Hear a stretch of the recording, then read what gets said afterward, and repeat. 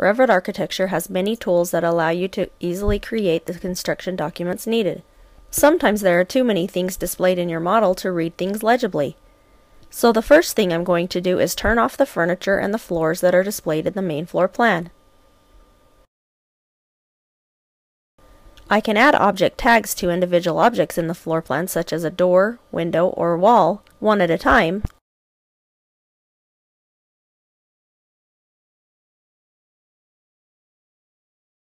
or I can specify the tags be added to all objects of the same type all at once.